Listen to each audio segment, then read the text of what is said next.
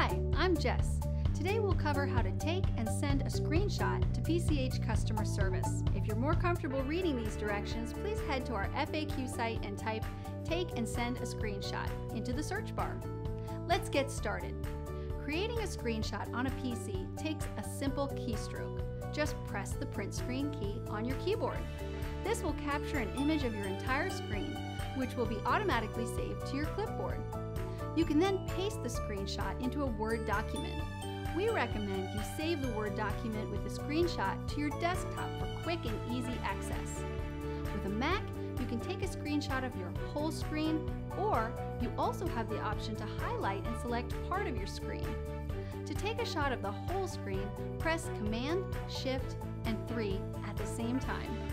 To grab only part of the screen, press Command, Shift, and 4 at the same time. Next, position the cursor to the upper left of the area you want to capture.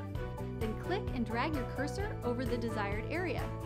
The screenshot you create will automatically be saved to your desktop.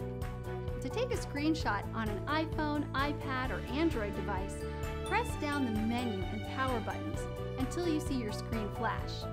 The screenshot will be saved to your photo library on your device.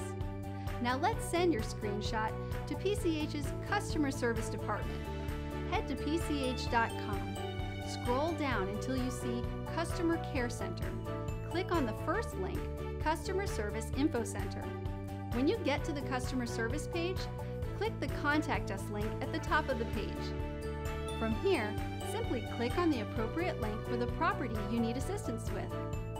Select your reason from the drop-down menu. Click on the Choose File button and send your screenshot. Highlight the file and click Choose. When the screenshot is finished uploading, you'll be directed to provide us with your information. Fill in the required fields, then click Submit. You'll be brought to a confirmation page with a reference number.